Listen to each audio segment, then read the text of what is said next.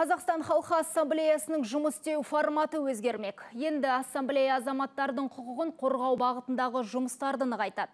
Бүгін Алматыда қала әкімінің қатысуымен қоғамдық институттың 24-ші сессиясы өтті. Онда жаңа Қазақстан жаңару және жаңғырту жолы стратегиясы шеңберінде алдағы уақытқа арналған міндеттер талқыланды. Ассамблеяның қызметі қорытындыланды. Биыл ұйымда аналар кеңесі жастар клубы сияқты жобалар нәтижелі жүзеге асқан. Соның аясында этномәдени бірлестіктер қайырымдылық пен медиациямен айналысқан.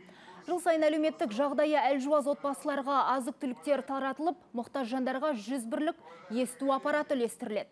Енді қоғамдық ұйымның жұмысы әрі қарай дамыту үшін жастар көптеп тартылып, ақпараттық қолдау көбейеді деп күтіліп отыр жастарды бүгін тарту керек. Жастарды біз үйрету керек деп.